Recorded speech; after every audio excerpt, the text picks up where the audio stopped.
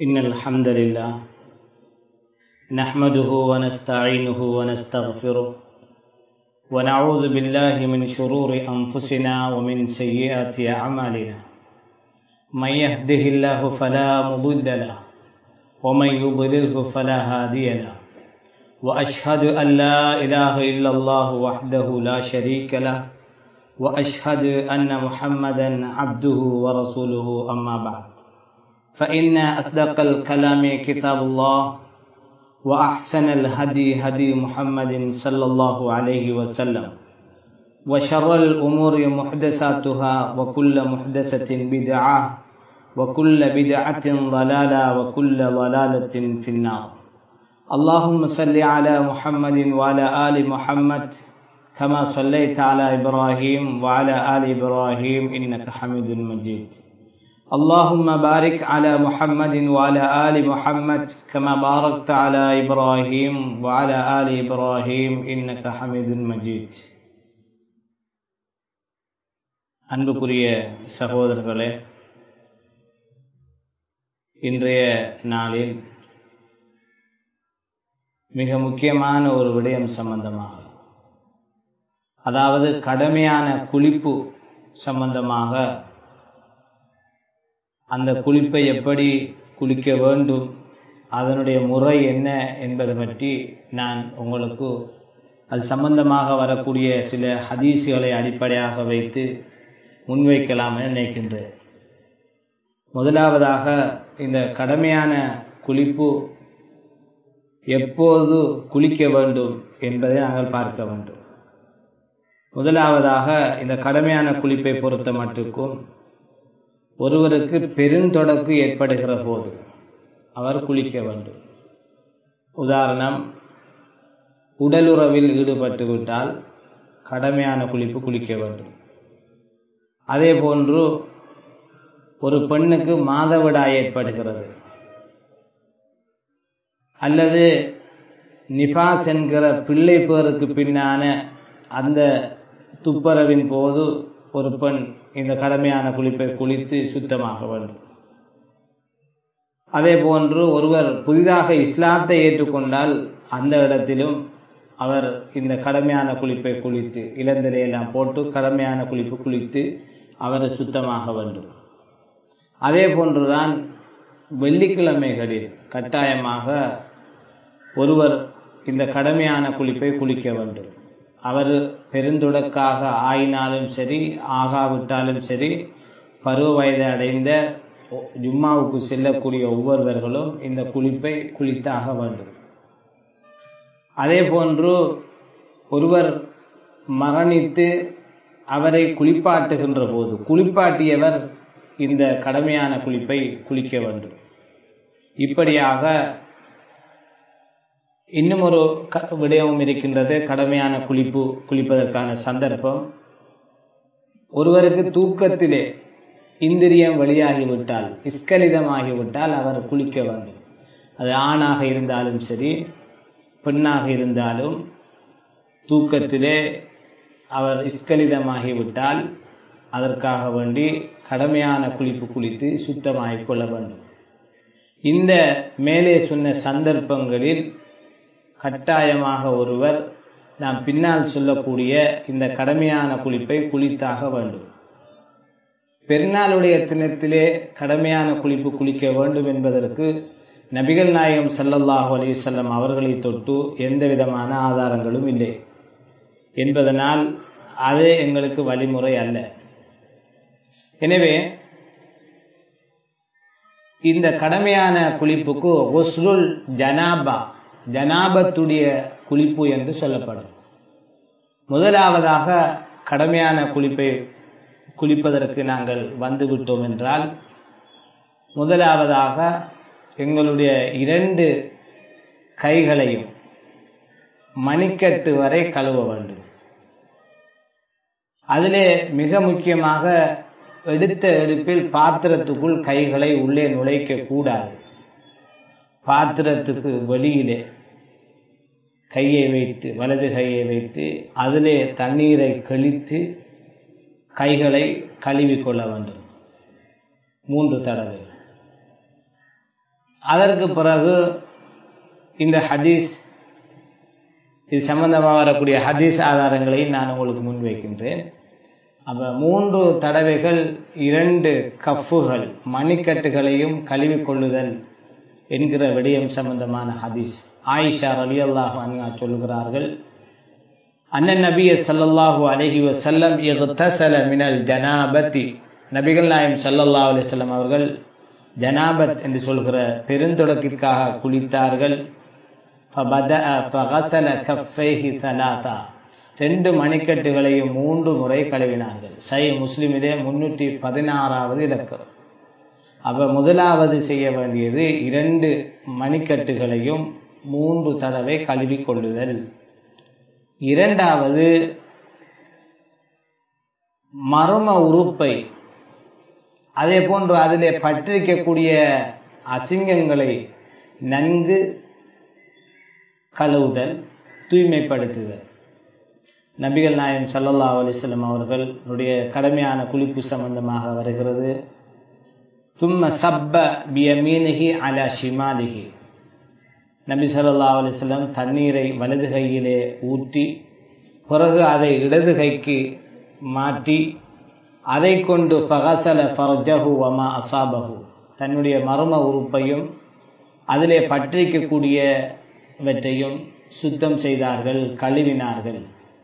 இந்த செய்தி புகாரியிலே இருநூற்றி எண்பத்தி ஓராவது இலக்கத்தில் பதிவாகியிருக்கிறது வலது கையில் தண்ணியை எடுத்து இடது கையில் ஊற்றி இடது கையால் தனது மர்ம உறுப்பையும் அதிலே பற்றிக்கக்கூடியவற்றையும் சுத்தம் செய்ய வேண்டும். அதற்கு அளவு கிடையாது. எத்தனை முறை கழுவுவது? பயகசிலோ மா ஹுனாலிக்க ஹத்தா யுன்கியஹு. அது தூய்மையாகிற வரைக்கும் ரசூலுல்லாஹி சல்லல்லா அலிஸ்லாம் அவர்கள் அந்த மர்ம உறுப்பை கழுவுவார்கள் என்ற செய்தி நசாயிலே நானூத்தி இருபத்தி ரெண்டாவது இலக்கத்தில் பதிவாகி இருக்கின்றது அப்ப இது ரெண்டாவது விஷயம். மூன்றாவது விடயம் என்னவென்றால் அந்த இடது கையை மர்ம உறுப்பிலே தேய்த்து அதனை சுத்தப்படுத்திய இடது கையை மண்ணில் அல்லது சுவற்றில் அடித்து நன்கு தேய்த்து சுத்தப்படுத்துக தும்ம லரப பிஷிமாலிஹி அல் அருள நபி சல்லல்லாஹு அலைஹி செல்லம் அவர்கள் தனது இடது கையை பூமியில் அடித்தார்கள். ஃபதலகஹா தல்கன் ஷதீதா அடித்து நன்கு தேய்த்தார்கள். சை முஸ்லிம் முன்னூற்றி பதினேழாவது இருக்கிறது சும்ம தலக்க பிஹா அல் ஹாயித்த இன்னொரு அறிவிப்பிலே பிறகு ரசூல்லாய் சல்லல்லா அலிஸ்லாம் அவர்கள் சுவத்தில் அடித்து தேய்த்தார்கள் என்றும் வருகிறது. புகாரியிலே இருநூத்தி அறுபதாவது இலக்கம். எனவே மர்ம உறுப்பை கழுவியதற்கு பிறகு அந்த இடது கையை மண்ணில் தேய்த்து சுத்தப்படுத்தலாம் அல்லது சுவரில் தேய்த்து சுத்த சுத்தப்படுத்திக் கொள்ளலாம். அடுத்ததாக மண்ணில் தேய்த்த அந்த கையை அல்லது சுவரில் தேய்த்த அந்த கையை ரசூல்லாய் சல்லல்லா அலிசல்லாம் கழுவி விட்டார்கள் என்கிற செய்தி. நபி சல்லாஹ் அலிசல்லாம் அவர்கள் கடமையான குளிப்பு குளித்தால் தன்னுடைய மர்ம உறுப்பை தன்னுடைய கையால் கழுவுவார்கள் அதனை மண்ணிலே அல்லது சுவரிலே தேய்ப்பார்கள். பிறகு சும்மா கசலஹா அந்த கையை கழுவி விடுவார்கள் என்கிற செய்தி சயில் புகாரிலே இருநூற்றி அறுபதாவது இலக்கத்தில் பதிவாகியிருக்கின்றது. அந்த கையை தன்னுடைய இடது கையை மண்ணில் பட்ட அந்த இடது கையை கழுவி விடுவார்கள் என்கிற செய்தி. எனவே அடுத்த ஐந்தாவது விஷயம் என்னவென்றால் முதலாவது இரண்டு கைகளையும் மணிக்கட் அதாவது மணிக்கட்டு வரை கழுவி விட்டு இரண்டாவதாக அந்த வலது கையிலே தண்ணி எடுத்து இடது கையிலே ஊற்றி மர்ம உறுப்பையும் நன்கு அதில் உள்ளவை போகும் வரை கழுவிவிட்டு மூன்றாவதாக பூமியில் அல்லது மண்ணில் கையை இடது கையை தேய்த்து அதை தண்ணீரால் சுத்தப்படுத்தியதற்கு பிறகு நபி சல்லல்லா அலை செல்லம் உது செய்வது போன்று செய்வார்கள் என்பதுதான் ஐந்தாவது விடயம். இந்த இவ்வளவு முடிஞ்சதுக்கு பின்னால உது செய்வது போன்று செய்வார்கள். தொழுகைக்காக உது எப்படி செய்வாங்களோ அதே மாதிரி. தும்ம தவல்ல உது அஹுலிஸ்வலா பிறகு இப்படி மண்ணில கையெல்லாம் அடிச்சு தண்ணியால சுத்தப்படுத்தினதுக்கு பின்னால உலுவுக்காக அதாவது தொழுகைக்காக உலு செய்வது போன்று ரசூருல்லாய் சல்லா அலிஸ்லாம் உலு செய்வார்கள். புகாரிலே முன்னூற்றி பதினேழாவது இலக்கம். அவ தொழுகைக்காக உலு செய்கின்ற அந்த முறை சம்பந்தமாக வரக்கூடிய விஷயங்களை சுருக்கமாக நான் இந்த இடத்தில் ஞாபகப்படுத்துகிறேன். உது செய்வது எப்படி? முதலாவது தவல்லூ பிஸ்மில்லா. பிஸ்மில்லா என்று சொல்ல வேண்டும். உது செய்வதற்கு முன்னால். உது செய்வதற்கு முன்பதாக பிஸ்மில்லா சொல்ல வேண்டும். நசாயிலே எழுபத்தி எட்டாவது இலக்கம் பிறகு என்ன வேண்டும்? தும்மையகசிலு எதேஹி சலாத்தா. இரண்டு கைகளையும் மணிக்கட்டு வரை மூன்று தடவை கழுவுவார்கள் ரசூலுல்லாய் சல்லா அலிஸ்லாம் அதிலே இரண்டு முறைகள் இருக்கின்றன. முதலாவது வலது கையை மட்டும் பாத்திரத்திலே விட்டு அதாவது பாத்திரத்துக்கு வெளியே வைத்து அந்த வலது கையில் தண்ணியை ஊற்றி அந்த வலது கையை மட்டும் சுத்தப்படுத்தி கொள்வது. அதற்கு பிறகு மூன்று முறை கையை உள்ளே நுழைத்து அந்த வலது கையை உள்ளே நுழைத்து அதனை இடது கையில் எடுத்து ஊற்றி அந்த கையை சுத்தப்படுத்தி கொள்வது. இப்படியாக மூன்று முறைகள். அல்லது பாத்திரத்துக்கு வெளியிலேயே கைகளை வைத்து தண்ணீரை ஊற்றி அந்த கைகளை மூன்று முறை கழுவுவது. இப்படி உது செய்கிற போது செய்ய வேண்டும். ஆனால் இந்த இடத்தில் அது தேவைப்படாது. காரணம் என்னவென்றால் நாங்கள் ஏற்கனவே எல்லா உறுப்புகளையும் கழுவி கையெல்லாம் கழுவி இப்படி சுத்தமான நிலையில் இருப்பதனால் பாத்திரத்துக்கு உள்ளேயே நாங்கள் கைகளை போட்டு இரண்டு அதாவது கைகளையும் மணிக்கட்டு வரை மூன்று முறை கழுவி கொள்ளலாம் அடுத்ததாக வாய் கொப்பளிப்பது. அதில் கொஞ்சம் தண்ணியை எடுத்து நாசுக்கு இழுத்து அதை சீறி விடுவது. இவைகளும் மூன்று தடவை. பிறகு முகத்தை மூன்று தடவைகள் கழுவிக்கொள்வது அதே போன்று இரண்டு கைகளையும் முழங்கை வரை மூன்று தடவைகள் கழுவி கொள்வது. இதிலே இந்த உதுவிலே தொழுகைக்கான இந்த உதுவிலே குளிக்கிற போது சிறிய சில மாற்றங்கள் காணப்படுகின்றன. அந்த மாற்றங்கள் என்னவென்றால் தலைக்கு வருகிற போது உது செய்கிற நேரத்தில் நாங்கள் தலைக்கு மசூது செய்வதை போன்று குளிக்கிற போது மசூது செய்வதில்லை. நபிசல்லா அலிஸ்லம் அந்த விடயத்திலே என்ன செய்வார்கள்? லம் எம் சா மசகு செய்ய மாட்டார்கள். நசாயிலே நானூற்றி இருபத்தி ரெண்டாவது இலக்கம். அப்போ என்ன செய்வார்கள்? அது சம்பந்த தலைக்கு என்ன செய்வார்கள் என்ற விஷயம் அதுக்கு தெளிவான ஆதாரம் வேறு யா வந்திருக்கின்றது. அதே போன்றுதான் காலை கழுவுகின்ற அந்த விஷயத்திலையும் சின்னொரு மாற்றம். தவல்லா ரசூலுல்லாய் சல்லல்லா அலிசல்லாம் உது அஹுலி சலா கைர ரிஜிலேஹி. உது செய்வார்கள் தொழுகைக்கு போல உது செய்வார்கள் காலை தவிர. புகாரிலே இருநூற்றி நாற்பத்தி ஒன்பதாவது அப்ப அந்த தலைக்கும் காலுக்கும் கொஞ்சம் வித்தியாசமான நடைமுறை சொல்லப்படுது அப்போ உதுவை போலதான் என்ன முதலாவது இரண்டு கைகளையும் மணிக்கட்டு வர கழுவு அதுக்கு முன்னே பிஸ்மி சொல்லணும் பிறகு ரெண்டு கைகளையும் மணிக்கட்டு வர கழுவணும் அது பிறகு வாய் கொப்பளிக்கிறது மூக்குக்கு தண்ணி எடுத்து சீறிடுறது முகத்தை கழுவுறது இரண்டு கைகளையும் முழங்கை வரை மூன்று தடவைகள் கழுவி கொள்வது பிறகு தலைக்கு வரக்குள்ள வித்தியாசமாக செய்ய வேண்டும் மசகு செய்யாமல் என்று நான் சொல்லியிருந்தேன். அது என்ன என்ற விஷயத்தை நாங்கள் பார்த்தோம் என்றால் இரண்டு கைகளையும் அந்த மணிக்கட்டுகள் வரையுமான அந்த பகுதியை பாத்திரத்துக்கு உள்ளே அப்படியே அமர்த்துவது அமர்த்தியவுடன் அதிலே தண்ணீர் பட்டு வரும் அந்த இரண்டு கைகளையும் தலையிலே முடிகளில் நன்கு நலையும்படி அந்த ரெண்டு கைகளிலே உள்ள விரல்களாலும் நன்கு கோரி விடுதல். அந்த தலையை. எந்த அளவுக்கு கோருவார்கள் என்றால் தன்னுடைய தலையினுடைய முடிகள் அதனுடைய அடிப்பகுதிகள் எல்லாம் நன்கு நலைந்து விட்டது என்று உணர்கிற வரைக்கும் நன்கு தேய்த்து தேய்த்து கோரி விடுவார்கள் என்கிற செய்தி சஹீல் புகாரிலே இருநூத்தி நாற்பத்தி எட்டாவது இலக்கத்தில் பதிவாகி இருக்கின்றது. இது ஒரு தரம். தண்ணி அப்படி ரெண்டு கையையும் அப்படியே பாத்திரத்துக்குள்ளே விட்டு அப்படியே எடுத்து அந்த முடியில ஃபுல்லாக எல்லா பகுதிகளையும் நன்கு கோரி அடுத்தது தலையோட சம்பந்தப்பட்ட இன்னும் ஒரு விடயம் சொல்லப்படுகிறது. அதாவது மூன்று முறை தண்ணீரை எடுத்து தலை மீது ஊற்றி விடுதல். அப்போ ஏற்கனவே சொன்ன அந்த ஹதீஸ் அதுக்கான ஆதாரம் அதுதான் ரெண்டு கையையும் பாத்திரத்துக்குள்ளே விட்டு அதில் தண்ணியை நனைச்சி தலையை நல்லா குடைந்து விடுதல் கோரி விடுதல் முடியிற அடியிலே நான் போட்டுன்ற செய்தி புகாரியில் இருநூற்றி நாற்பத்தி எட்டாவது இலக்கம்.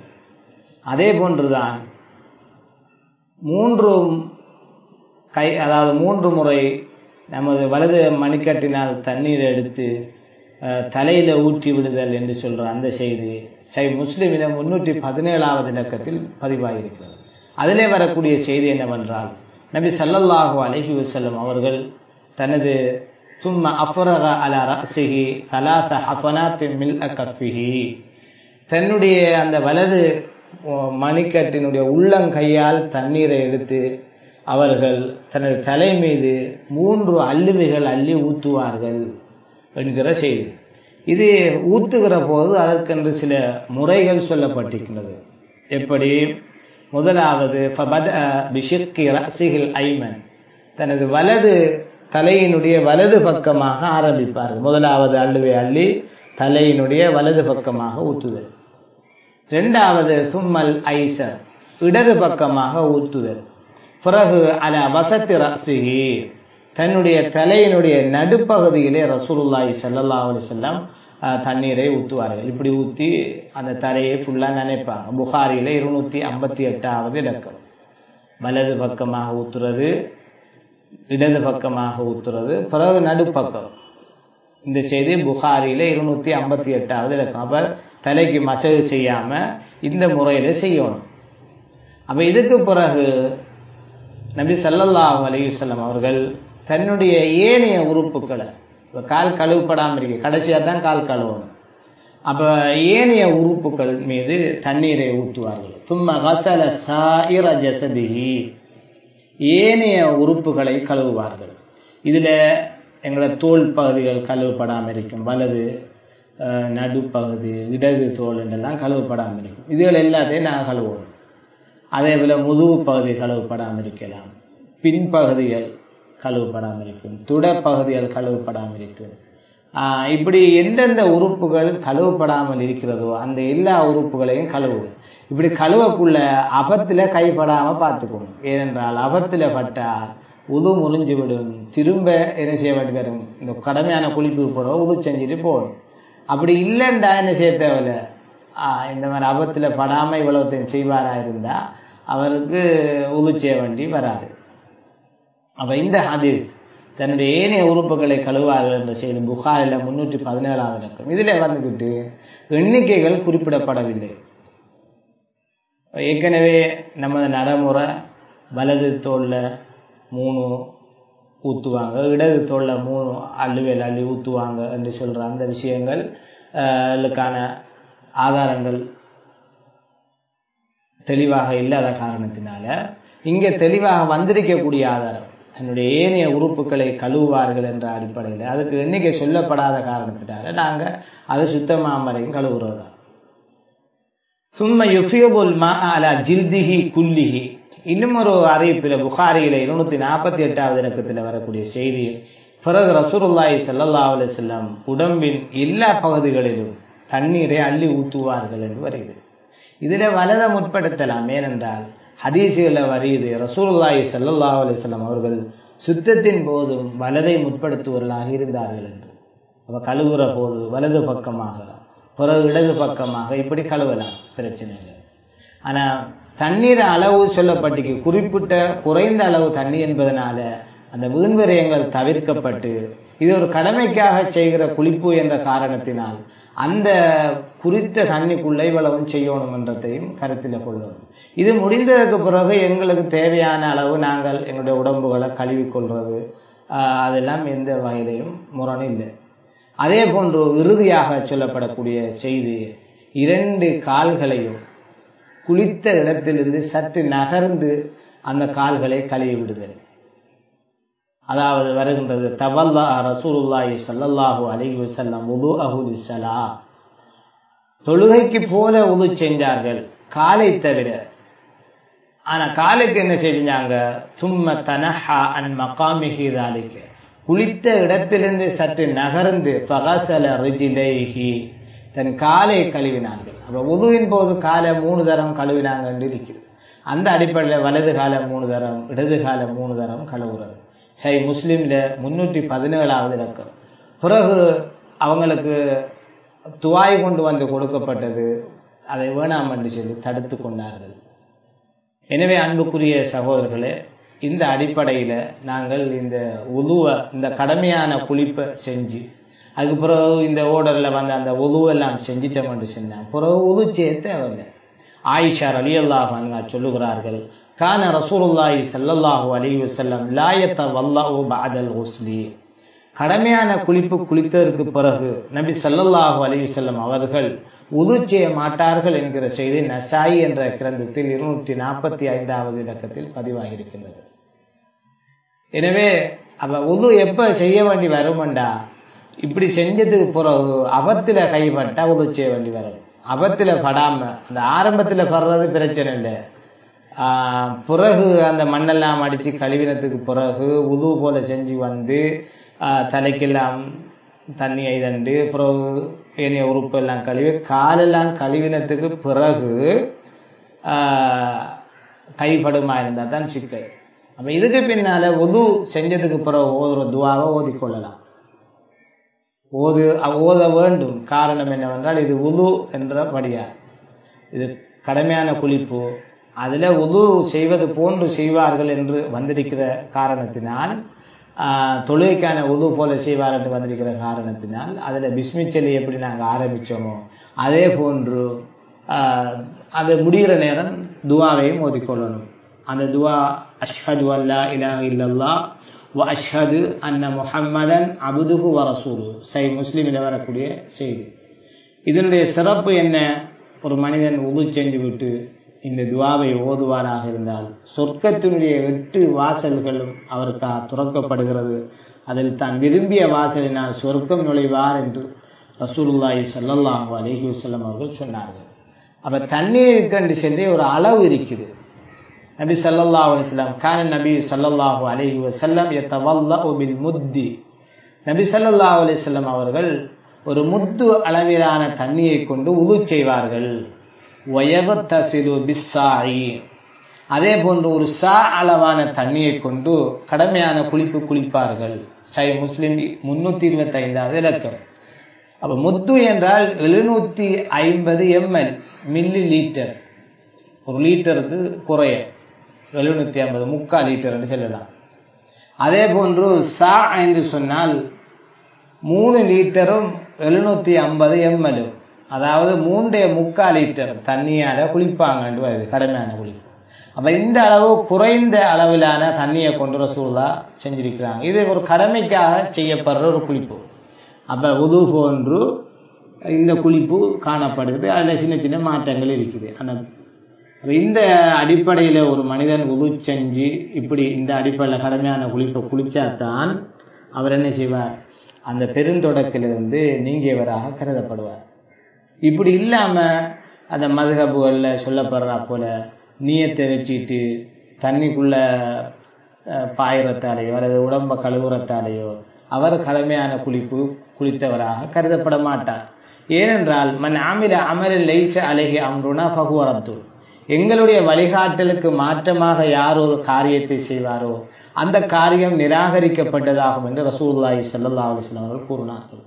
எனவே அன்புக்குரியவர்களே சகோதரர்களே சகோதரிகளே தாய்மார்களே இதை கேட்கக்கூடிய நீங்கள் இதிலே சொல்லப்படுகிற பிரகாரம் இந்த ஆதாரங்களை நீங்கள் மேலும் ஒரு தடவை நேரடியாக பார்த்து இந்த குளிப்பு முறையை எங்களுடைய வாழ்க்கையில் நடைமுறைப்படுத்துவோமாக أقول قولي هذا وأستغفر الله لي ولكم فاستغفروه إنه هو الغفور الرحيم